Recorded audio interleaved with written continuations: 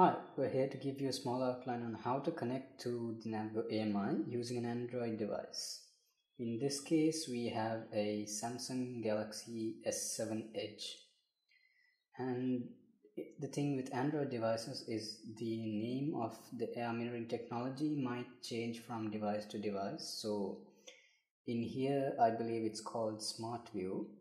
So how you should connect to the AMI in this instance is you go to settings, you go to connections, Wi-Fi, and then you search for the network. It's already connecting.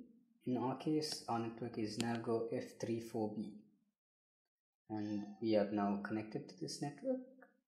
Then we pull down the notifications bar and we should look for something called Smart View. It's not here, it's over here. Smart View. So we just tap that. Sorry. So yes, it should now show the device. Yes, it is now automatically connecting to the Navgo AMI.